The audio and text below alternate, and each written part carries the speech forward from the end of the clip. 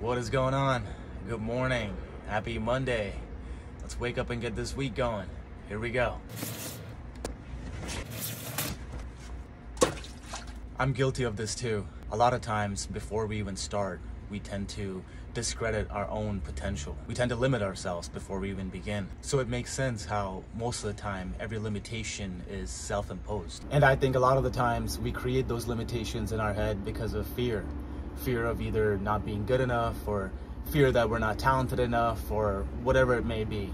We create stories in our head. But instead of creating those kind of limitations in your head, if you reverse it to believe that you can truly make it work, that you truly have everything that it takes to make it work, then your mind will eventually believe itself. And if you do that day in and day out, every single day, you'll essentially train your mind to believe that it's true.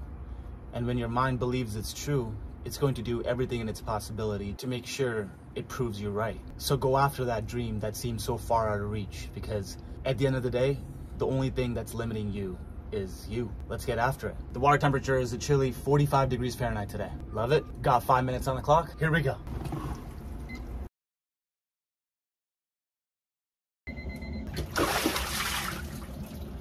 Crushed it.